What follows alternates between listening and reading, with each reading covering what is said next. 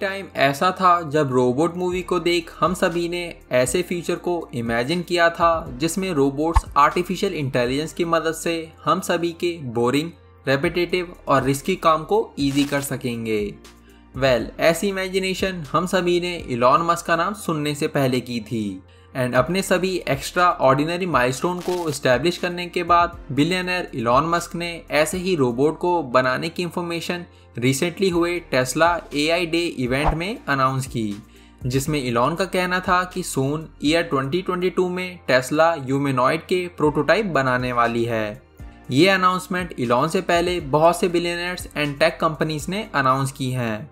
But Tesla robot को सबसे unique बनाने वाली बात यह है कि रिसेंटली हुए टेस्ला इवेंट से पहले इलॉन मस्क हमेशा से ही एआई और रोबोट्स को लेकर काफ़ी ज़्यादा परेशानियाँ एंड फ्यूचर में एआई रोबोट से होने वाली प्रॉब्लम्स की इंडिकेशन देते आए हैं, जिसमें काफ़ी ज़्यादा लोगों ने इलॉन की बातों पर बिलीव किया। बट नाउ इलॉन खुद ऐसे रोबोट्स को बनाने की बात कर रहे हैं। सो so, यदि इलॉन रियली में ऐसे रोबोट्स को बिल्ड करना चाहते हैं तो ये रोबोट्स मूवीज़ में दिखाए गए नोटोरियस रोबोट्स की कंपैरिजन में कैसे डिफरेंट होंगे? टेस्ला एआई डे इवेंट में ह्यूमैनॉइड रोबोट की अनाउंसमेंट के साथ इलॉन मस्क ने फ्यूचर में आने वाले कंप्यूटिंग एआई एंड रोबोटिक जैसे चीज़ों से जुड़ी कई अनाउंसमेंट्स की। इलॉन का कहना है कि उनकी electric car company Tesla just a car manufacturing company नहीं है। एंड पब्लिक की नज़रों में इस बात को प्रूव करने के लिए इलॉन मस्क ने रिसेंटली ऐसा अनाउंसमेंट किया जो लोगों की नज़रों में टेस्ला की इमेज को इम्प्रूव कर सके। करंटली टेस्ला वर्ल्ड की बेस्ट इलेक्ट्रिक कार कंपनी मानी जाती है, जिसका रीज़न है टेस्ला के पास मौजूद एआई रिलेटेड डेटा जिसकी मदद से ही इलॉन ह्यूमेनॉइड टेस्ला रोबोट को रियलिटी में चेंज करने वाले हैं, जिसे नाम दिया गया है टेस्ला बॉट इवेंट के अकॉर्डिंग टेस्ला बॉट का first prototype next year early 2022 तक रेडी किया जाएगा जो साइज़ में 5 फीट एंड 8 इंचेस टॉल होने के साथ अराउंड 58 किलोस का होगा। एंड टेस्ला के प्लान्स के according initially Tesla bot at least 150 pounds approx 68 kilo जितना वेट इजीली लिफ्ट कर सकेगा। वेल well, इतना वेट किसी रोबोट के प्रोटोटाइप की स्ट्रेंथ के लिए तो काफ़ी है। But what about the speed well Tesla bot initial phases में अप्रॉक्स 8 किलोमीटर पर आवर की स्पीड से ही ट्रैवल कर सकेगा. I mean walk and Tesla bot के ऐसे फीचर्स को इम्प्रूव करने के लिए टेस्ला अपनी फैक्ट्री में मौजूद ऑटोमेटिव मशीन्स के हार्डवेयर एंड सॉफ्टवेयर की मदद लेगी. बट इलॉन को ऐसे A I bot I mean robot को बनाने की क्या ज़रूरत थी? वेल इलॉन काफ़ी टाइम से रोबोट्स और एआई के कॉम्बिनेशन से होने वाले पोटेंशियल खतरे से केयरफुल रहने के लिए कहते आए हैं। बट टेस्ला बॉट को बिल्ड करने के पीछे इलॉन का आइडिया थोड़ा फनी है। एंड शायद इसीलिए टेस्ला ने अपने रोबोट को पूरी तरह से जस्ट मैकेनिकल हेल्प के लिए डिज़ाइन किया है, जो साथ ही हम सभी इंसानों के लिए फ्रेंडली बनाया जा रहा है। ताकि किसी अनएक्सपेक्टेड इवेंट में यदि हमें टेस्ला रोबोट से दूर भागना पड़े तो हम ऐसा इजीली कर सकें। एंड इस तरह से टेस्ला बॉट कभी भी इंसानों से ज़्यादा स्ट्रांग नहीं बन सकेगा। टेस्ला बॉट को बनाने का एक और रीज़न है ऐसे कामों को एक रोबोट से करवाना, जो हम ह्यूमंस करने में ज़्यादा नखरे दिखाते हैं। जैसे कि टेस्ला या फिर स्पेस एक्स फैक्ट्री में डेली बेसिस पर सेम तरह का काम रिपीट करना। जो यदि किसी रोबोट की मदद से करवाया जाए तो ह्यूमंस के लिए एक्चुअली में मच बेटर एंड सेफ़ रहेगा। जिसे ऑब्वियसली फ्यूचर में not only Tesla and Space के एम्प्लॉयज़ बट नॉर्मल लोग अपनी बोरिंग काम करने में इस्तेमाल करेंगे।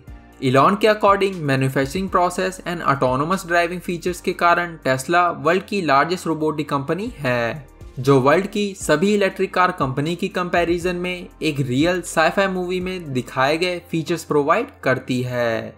कुछ ऐसे ही टेस्ला के इंटरेस्टिंग फीचर्स को हमने अपनी प्रीवियस वीडियो में अच्छे से डिस्कस किया है जिसका लिंक आई बटन और डिस्क्रिप्शन में दिया गया है। सो so, इलॉन के अकॉर्डिंग टेस्ला के लिए इस तरह का useful and friendly robot build करना पूरी तरह से करेक्ट डिसीज़न है। बिकॉज़ यदि टेस्ला चाहती तो वो अपनी सेल्फ ड्राइविंग कार फीचर की मदद से मिलने वाले डेटा को जस्ट अपनी कार्स में ही इस्तेमाल करती। बट इलॉन ऐसे डेटा की मदद से सोसाइटी के लिए कुछ यूनिक क्रिएट करना चाहते थे, जिसके अच्छे दिन होपफुली फ्यूचर में टेस्ला बॉट की मदद से देखने को मिलेंगे। आपका क्या ओपिनियन है ऐसे रोबोट के बारे में? क्या इलॉन के सभी प्रोजेक्ट्स की तरह ही लोग टेस्ला बॉट का भी वेलकम करेंगे? इलॉन के प्लान्स के अकॉर्डिंग टेस्ला बॉट को बिल्ड करने में टेस्ला अपने सेल्फ ड्राइविंग कार्स में यूज़ की जाने वाली कंप्यूटर चिप्स को इस्तेमाल करती है। साथ ही टेस्ला बॉट में टेस्ला कार्स की तरह ही सेम तरह के सेंसर भी इंस्टॉल किए जाएँगे, जो कार्स की तरह ही रोबोट को अपने आसपास की चीज़ों के बारे में इंफॉर्मेशन प्रोवाइड करेंगे।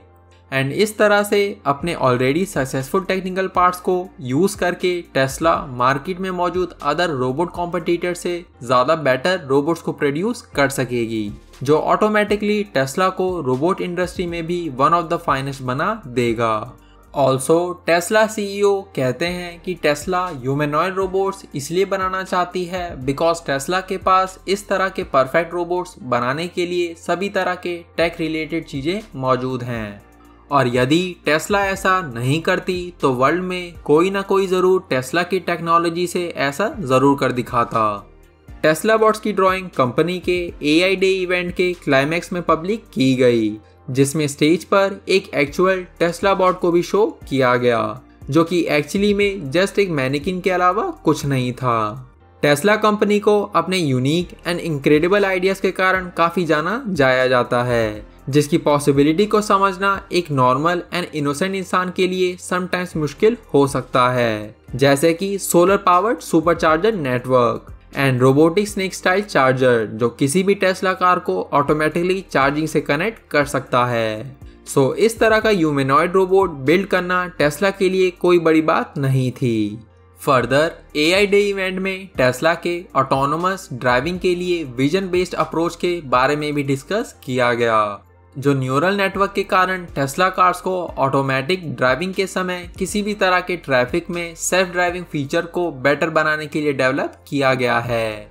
टेस्ला एआई के हेड टेस्ला के विजन बेस्ड अप्रोच को एक एनिमल के आर्किटेक्चर की तरह डिस्क्राइब करते हैं, जो अपनी बर्थ के बाद एक जगह से दूसरी जगह मूव करना, अपने आप को सेफ़ रखना और अपनी इन्वायरमेंट के बारे में लर्न करने जैसे टास्क करता है। सिमिलरली टेस्ला का ये विजन अप्रोच भी इसी तरह से काम करता है। लेटर इवेंट में टेस्ला के न्यूरल नेटवर्क के डेवलपमेंट स्टेजेस के बारे में भी डिस्कस किया गया, जिसमें टेस्ला कार के ब्रेन यानी कि विजुअल कॉन्टेस्ट के आर्किटेक्चर की वर्किंग को एक्सप्लेन किया गया। जो ऑटोनोमस ड्राइविंग के समय टेस्ला कार को रोड एंड आसपास मौजूद ट्रैफ़िक इन्वायरमेंट के बारे में पूरी इंफॉर्मेशन टेस्ला कार के सभी डायरेक्शन से कलेक्ट करके कैसे प्रोसेस करता है। इवन टेस्ला अपनी कार्स के लिए सभी मैकेनिकल कंपोनेंट्स को न्यूरल सिस्टम को ध्यान में रखकर बिल्ड कर रही है, जिसमें कार के सभी इलेक्ट्रिकल कंपोनेंट्स के साथ the brain of the autopilot and the most importantly car में मौजूद सिंथेटिक विजुअल कॉर्टेक्स मौजूद होता है।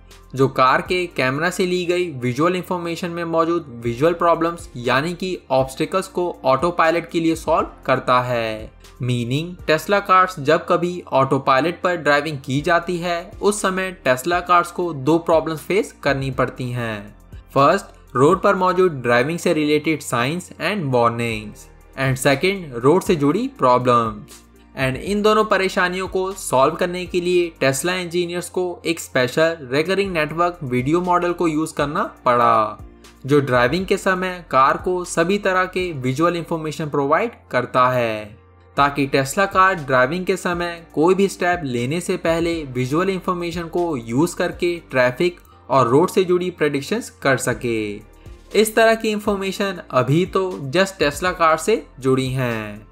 बट जैसा कि हमने डिस्कस किया टेस्ला ये सभी फीचर्स अपने रोबोट में भी इम्प्लीमेंट करेगी। जिसके नेक्स्ट ईयर प्रोटोटाइप के लिए अभी से टेस्ला ने ऐसे फीचर्स को अपनी कार्स में टेस्ट करना शुरू कर दिया है।